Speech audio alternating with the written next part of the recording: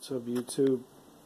I've been working in my garage all day and um, sat down for a little while talking to Jesus and uh, about some serious issues that people miss, the church misses, the ministry misses, and uh, before you knew it, the Lord uh, is it intercessing Spirit, the Holy Ghost. It's Jesus Christ, if you don't know, but He. Uh, in the midst of my prayers and my tears, he, his presence just bursted out of me with groanings. And it's his heartbeat because even though he's the Spirit of God, he's the everlasting Father, according to Isaiah, he's in that seat of intercessory, the high priest. He's he's intermediate between man and God in that position, in that in that realm. Even though it's him that's doing the judgments, he's interceding with groanings and strong groanings, and he he overcame me, and it just it's over me. I still got tears, man. I just wanted to talk about it because people don't understand this stuff.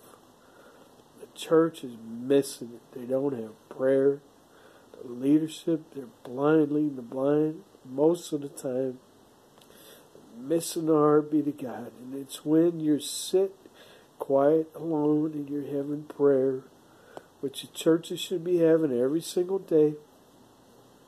It's these times when God can just come in and do something for the church. And I have to talk about it because it's on me now. It's his just happened. It's his passion to intercede for his people. Okay?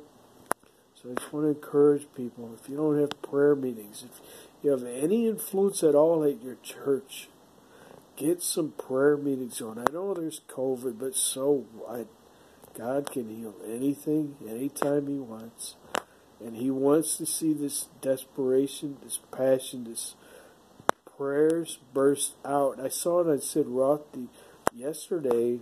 It was within the last couple days, if not yesterday, straight up that there was about six or seven leaders, like a panel, and then all they were doing was praying. And see, that's what God wants. He's trying to wake up the leadership, and they're doing it, but it's we're so lacking. People are so blind. I'm talking about leaders are so blind to what the scriptures, what Christ, the leading of His Holy Ghost is telling the church to do. And it's, He just gave me all this revelation that I'm talking about right now. Okay, and I'm just sharing it with you. Okay, get some prayer meetings fired up and tarry. Don't be in a hurry. And who gives a flip who's listening so uh, Don't pray to be heard of people.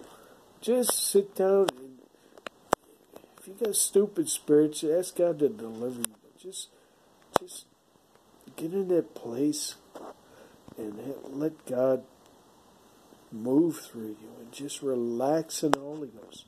You know, it doesn't have to be hot, fired, screaming prayers. It could be a cool drink of water on a hot day. You're just chilling with Jesus. You're barely saying three words. You're meditating for an hour. And He can move so powerfully. But then it's in other times it's hot, fiery, passionate prayer where you're screaming and you don't even give a flip. Who cares? Who can hear you? So what? You're not doing it to be seen of man, and if you are, just repent. That's just that stupid church stuff that I hate. I hate that stuff. That show, that fake. I hate it. God hates it. But you know what? Just get honest and real and have real prayer. Okay? God bless you. So that's all for now.